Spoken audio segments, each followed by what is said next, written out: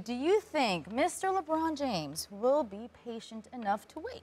Uh, yeah, he'll be patient for a year. Not for two years. Two years, next year, you'll see him get another big time free agent in there. And I say this, Will, I'm sure you got a lot of opinions. I'm telling you I, from what I say is from I know, because I've talked to LeBron's camp.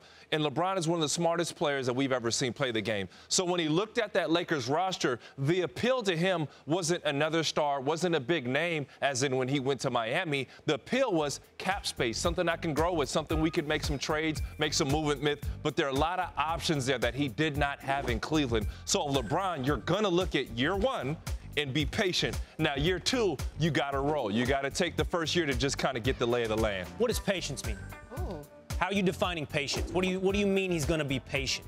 Year one, he's going to go out, he's going to get it what he has, he's going to fill it out. If they don't win a championship, you won't see LeBron James pulling out his hair. You won't see him waving the towel. You won't see him yelling and screaming at teammates. He's going to be patient. He's going to ride this out, and he's going to assess the roster. Well, maybe not he assess the Rockets roster, but they'll assess the roster at the end of the day. And you won't come back and hear LeBron James saying, This is a failure. We messed up. We had mistakes. I got you now. I'm so happy I made you define patience. I see the fear in your eyes. I wish the camera would take it right now because you're faking a smile to cover it up. You're in trouble. You got got.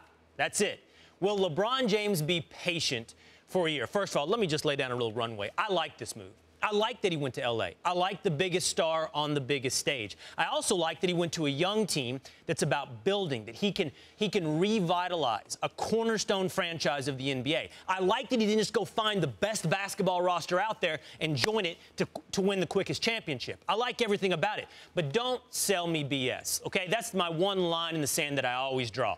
Don't sell me BS and tell me it's something it's, it's gold. Here, here's this it's nice, it's gold. No, it's not. It's BS. He's not going to be patient. And I don't care who you've talked to, to be quite honest. One of the problems. What are your expectations? Since you, you keep throwing it out, what are your expectations? I'm going to tell you my expectations. It's going to require a little Hurry bit up. of patience on your behalf. I fear that LeBron's patience will be like yours, momentary.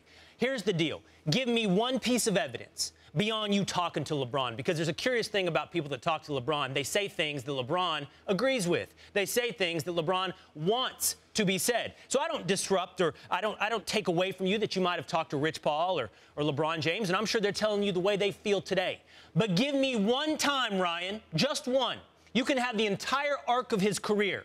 You can go back year by year, and you can show me where this patience has been illustrated in the past. Just give me the year, the team, when he said, you know what, I'm cool sitting back this year, and everything that goes on around me, I'll be cool with it. I won't pull my hair out. I won't have a February melodrama. I won't fire off a tweet mid February talking about, you know, I don't know, maybe some kind of. Uh, Aesop's fables of how teams should should uh, compete. He'll, he'll give us some cryptic tweets. Something will go down in February. He'll be unhappy. He will lose his patience. Does that mean he's going to say spend all your cap money right now before the season starts? No. Does that mean he's going to say for so sure? So how's that not patience then? How's that? If you're if he's just, that's why I just no. asked you to, to if, define patience. If, if he's sitting here saying we don't need to start now, we got to have Kawhi, we got to have these guys, you got to make moves, we got to we got to blow this thing up. Everybody who signed is committed on a one-year deal.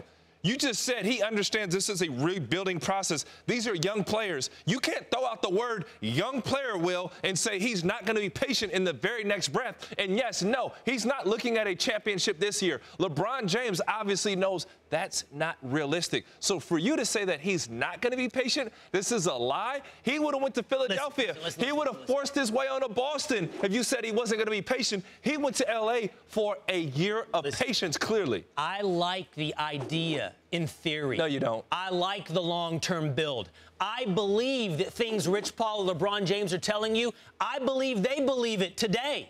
But that doesn't mean I'm going to buy the idea that come February, January, and March, he's going to be patient. And I have asked you a question which you have not answered. What's your question? Show me the point in history. You can have all the years of his career where he's been patient with a team that is not winning up to his expectations. Give me the time, and I will listen, and you will win the debate. But show me in the past where he has been this patient. year's NBA Finals.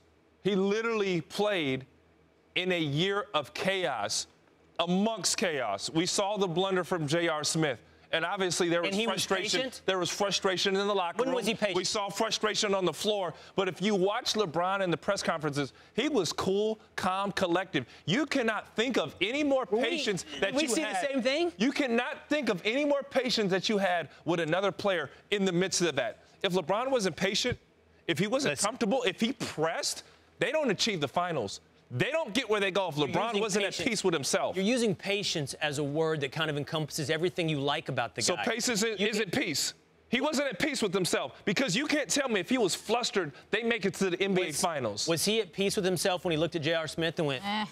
Was he at peace with himself when he sat on the bench and couldn't look at J.R. Smith or talk to him? Was he at peace at the press conference you so you, you, you talk up when he walked off the stage after being asked for the third time, what did you think about J.R. Smith? That was play? complete peace because you know if he wasn't peace. at peace, he would have been yelling and screaming at the guy who asked him the same redundant question five times in a row. And after a while, LeBron said, "You know what? I'm going to walk away. listen. This is enough." Listen, I think what you have done, and the problem most LeBron disciples do, is they decide any bit of criticism is indictment of him to his I'm a. LeBron disciple now, just because I'm telling you that the guy went to a young LA team and he's going to be patient and not expect a championship in year one. Will, Please. what are you We've really already saying? established that, that the prayer goes like this. You know? Oh, oh, my gosh. Lead the service on the LeBron's discipleship. You're- listen, so listen, you're, no, no, no, no, listen wait, for wait, a wait. second now. We don't know your argument. So you're just I do know. alleging that halfway through the season, LeBron's going to shoot out some uh, disruptive tweet. He's going to be upset. That's the only thing you're banking believe on. it's happened every That's- year. it So that's the only thing that you're saying. The only thing. All right. Hold on. I'll leave you with this. He joined the Cleveland Cavaliers for the second time in 2014. He said he realized that team wasn't ready to win right away, and you could have read between the lines there'd be patience. By the midseason, they traded for Iman Shumpert. Before season, they signed Mike Miller and Shawn Marion, and they brought in J.R. Smith midseason as well. That was how patience played out his first year in Cleveland. We'll see how patience plays out his first So year LeBron's in the LA. GM now. Yeah, absolutely. Stop it. Stop it. Well, Don't hold on. disrespect Magic like that.